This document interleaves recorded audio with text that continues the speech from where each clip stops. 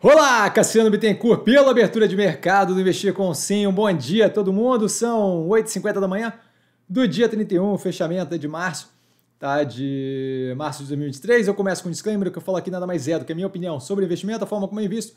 Não é de qualquer forma, modo em geral, indicação de compra ou venda de qualquer ativo do mercado financeiro. Isso dito, fechamento de ontem com um dia é, positivo, tá? Com recebimento do arcabouço fiscal, conforme comentado, deveria destravar, tá? Ainda vejo mais espaço para destravamento, dado que eu vi sendo recebido com desconfiança pelo mercado, a gente ainda vê reverberando isso através das notícias que têm sido veiculadas, tá?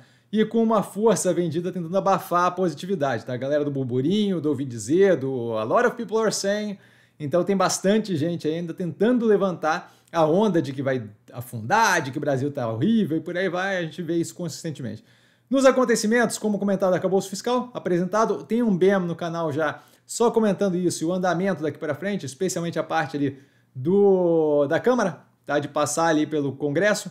O Lira informando que a Câmara trabalha para aprovar em abril o arcabouço, tá já pensando em ajustes e com um relator aparentemente do PP, do partido do próprio presidente da Câmara. Então ali uma justamente essa dinâmica de poder explicada na análise ele feita no BEM. Tá? O Trump indiciado no caso vinculado a Stormy Daniels, tá pagamento de hush money, de, de, de dinheiro para ela ficar em silêncio, e aí tem todo um aprofundamento aqui dali para fazer. Não vejo como relevante. Show 3, a Time for Fun, perdendo o Lula Palusa, que afetou negativamente fortemente as ações ontem.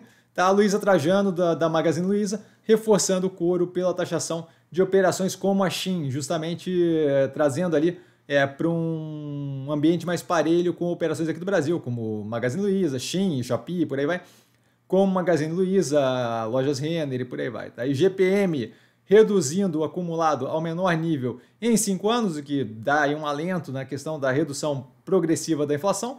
Taxa de desemprego na União Europeia mantendo a mínima recorde em 6,6%, PMI industrial da China em março em 51,9%, uma queda versus 52,6% é, de fevereiro, lembrando, acima de 50 expansivo, abaixo de 50 é, contracionista, tá acima do esperado ainda assim, o de serviços indo de 55,6 para 56,9, então positivo é a evolução. De resultados, tivemos ontem a Sequoia com uma queda na receita líquida de 10% year-on-year, EBITDA ajustado queda de 17,3% year-on-year, margem vai de 15% no mesmo período do ano passado para 13,8% nesse, lucro líquido ajustado com uma queda de 94%. Os ativos que eu estou observando mais, observando mais de perto com base na movimentação de ontem, a Mobile e a Melnick, tá? A Mobile, inclusive, teve análise liberada ontem ainda. E dúvida? Dúvida eu tô sempre no Instagram, arroba investir com sim, só ir lá falar comigo, não trago a pessoa amada, mas estou sempre tirando dúvida. E vale lembrar que quem aprende a pensar bolsa opera com mero detalhe. Um grande beijo a todo mundo e até mais tarde no Compondo da Tese. Valeu, galera, beijão!